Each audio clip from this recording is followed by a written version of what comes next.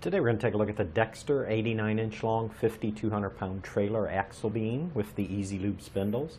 Now this axle beam will act as part of your trailer suspension system. It replaces an axle on your trailer and you can fabricate a suspension to fit your application.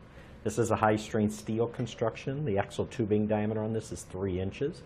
And this is an underslung design axle, and by that we mean the spring seats here that your leaf springs mount to. They're welded to the underside of the axle and that gives you a nice low ride height, makes it easier to load and unload your trailer. Now the spring seats, the spindles, and the brake flanges you can see here are all welded onto the axle. The brake flange is a 5 bolt design. Now you might notice the bend in the center of the axle right here. This is what will ensure the proper camber angle. When installing this axle, you want to make sure that bend faces up and the label right here should face the rear of the trailer. Now if that label happens to be missing, you just look at these wires here that they run through the uh, axle that are for your electric brakes. These should also face the rear of the trailer. And these electric brake wires are included if you're going to be installing electric brakes to the axle. Now having the center ride a bit higher and the sides of the axle bent lower allows this axle to give just enough to compensate for the load in the trailer. This bend will create a nice zero camber angle for even road to tread contact across the width of your trailer tires and ensures that the angle of the wheels are correct for your towing needs. The result gives you a nice excellent straight line acceleration for steady controlled towing. You can see it's a straight easy lube spindle. There's no drop to it. And the Easy Lube spindles are nice because they have the built-in grease Zerk fitting on the end here, which allows for a nice, simple, easy lubrication of your bearings without having to disassemble the whole hub assembly.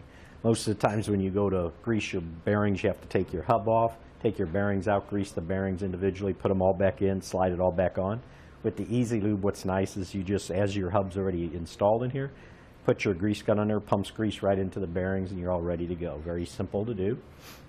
Now this part will include the castle nuts, the D washers, the retaining washers. The bearings that fit this are sold separately. This part is made in the USA. Weight capacity again on this is 5,200 pounds. Now when you do purchase an axle, there's two critical measurements you need to be aware of, the hub face to hub face length. And what that is, is when your hub is installed on here, you measure from the hub face on this side to the hub face on that side. This one will measure 89 inches with the hubs installed. And the other one is the spring center to spring center length. So if you measure from the spring seats we talked about earlier, the center of it to the center of that spring seat, on this one is going to measure 74 inches, which is usually your trailer width also. And one last thing is when we do ship these, they won't be exposed like this. We actually cover them up. we'll put a coating of grease on here to protect it from any corrosion. And then we have these real thick rubber boots that will just slide over the ends. And then they install right on there and then we wrap them. Same way on that end, we'll wrap that. So that actually protects that spindle from any damage and corrosion.